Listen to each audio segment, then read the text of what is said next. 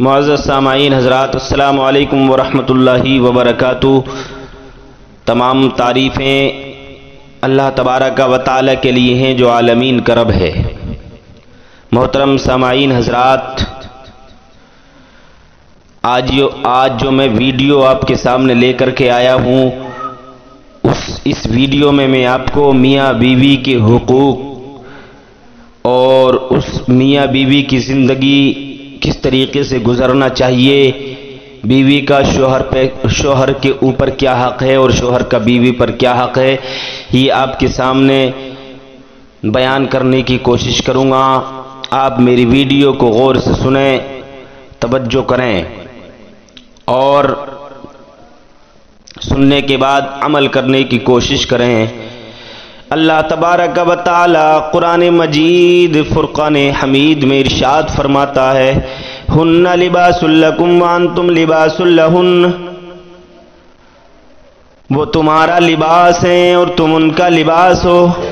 मतलब यह है कि औरतें मर्दों का लिबास और मर्द औरतों का लिबास हैं।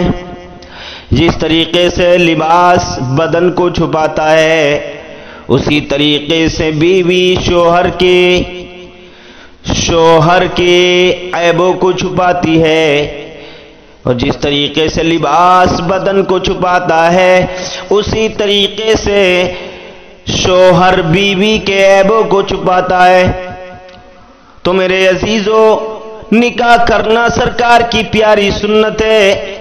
अल्लाह के रसूल ने इरशाद फरमाया अन्निकाहु मिन सुन्नती फमन रगीबान सुन्नती फलई समिन्नी निकाह मेरी सुन्नत है और जिसने मेरी सुन्नत से राज किया वो हम में से नहीं है और निकाह करने के बाद इंसान गुनाहों से बच जाता है अब हमको ये चाहिए कि निकाह कर लिया शादी हो गई तो हमें बीवी के साथ अच्छा बर्ताव करना चाहिए अच्छा अखलाक पेश करना चाहिए।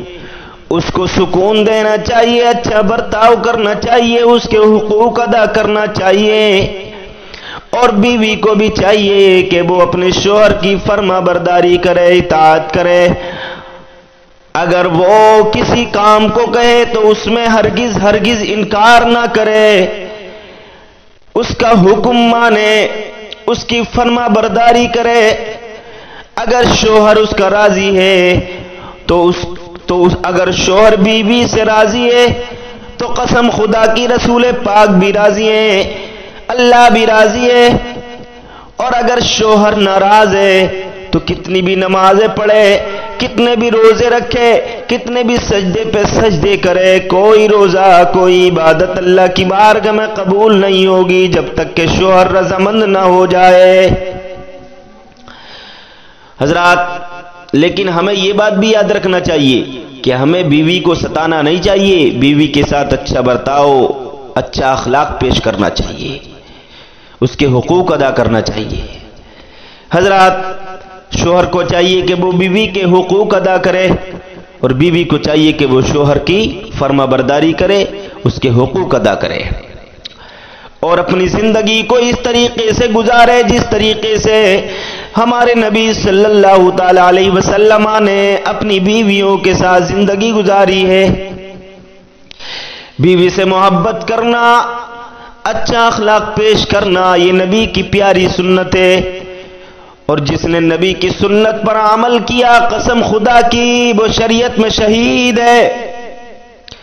जो नबी की एक सुन्नत को ज़िंदा करता है अल्लाह तबारक बताला उसको सो शहीदों का सबाब अता फरमाता है।